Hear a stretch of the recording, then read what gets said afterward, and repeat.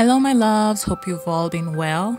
A little disclaimer I have a cold, so please excuse my voice if it sounds off. I know I missed last week's post, but your girl just got so swamped and decided to take it easy. Good thing though is that we're here now with this beautiful number that I got from Toi Market as usual. The print, texture, and elasticity was what drew me to it, and I couldn't be happier because of the versatility. And I opted to do one of the simplest transformations.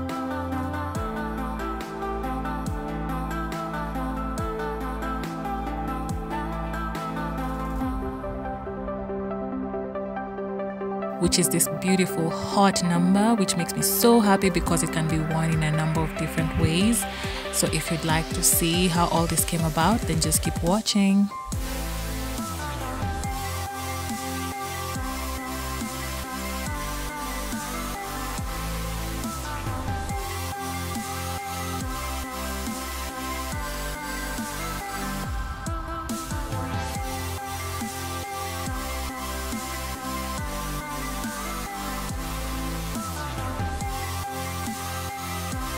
To begin, I placed the dress on fold and winged out the measurement at an angle along 16 inches and cut out my top.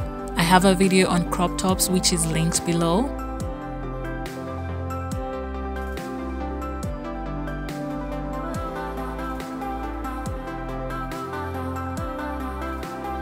I took the bottom piece and cut out one side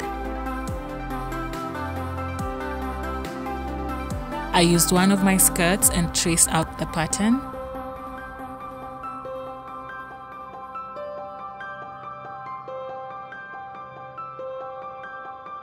I then took the remaining pieces and cut out four 2 inch strips.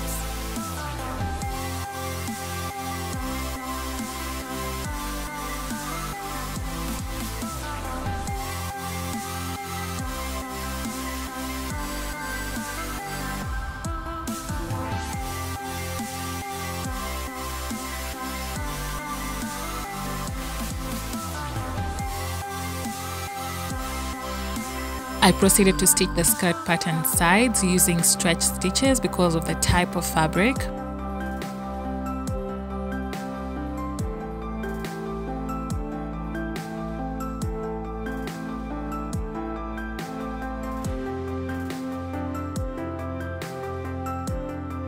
I then did the hemming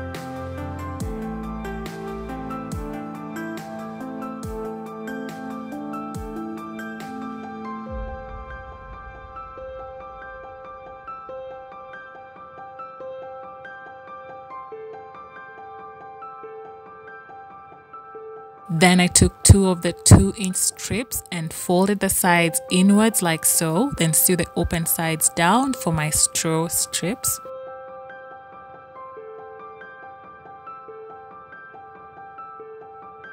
Next I took the other two strips and stitched the sides, then inverted it.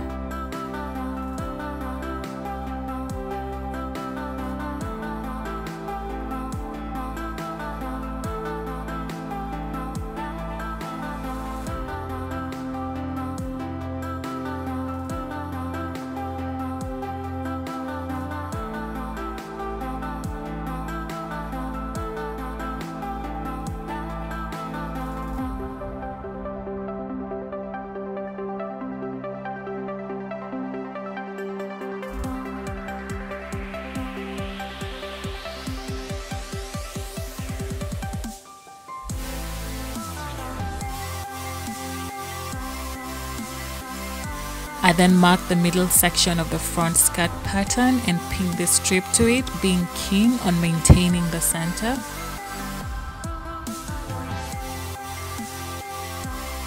I then stitched this at the center first and then at the edge of the strip sides like so.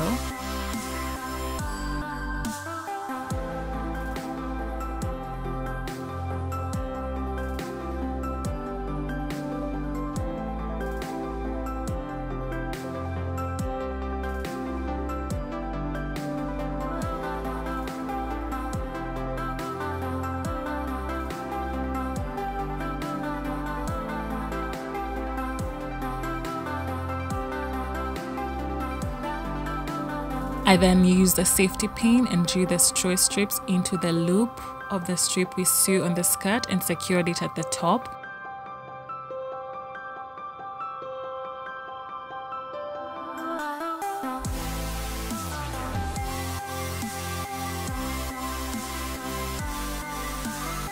I did the same for the other loop.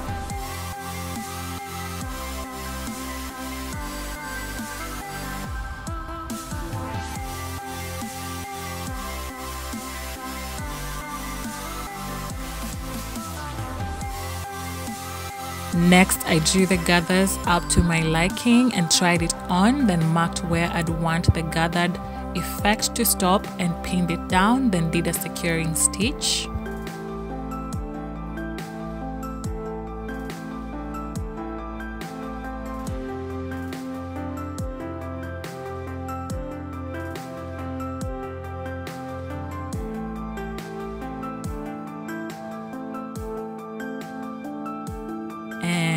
Was done with the skirt here.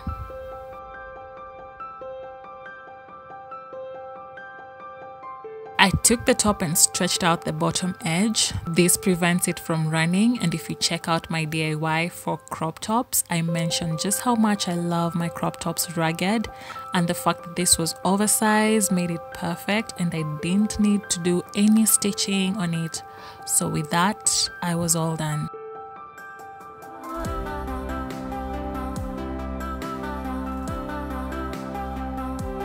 Here's a final look, which I think is quite sexy. And although initially I'd planned to have the draw upside at the center, I felt it looked way better on the side. But then again, this only makes me love it more because I can wear it in those two different ways on different occasions. Let me know your thoughts, and until the next one, bye, my loves.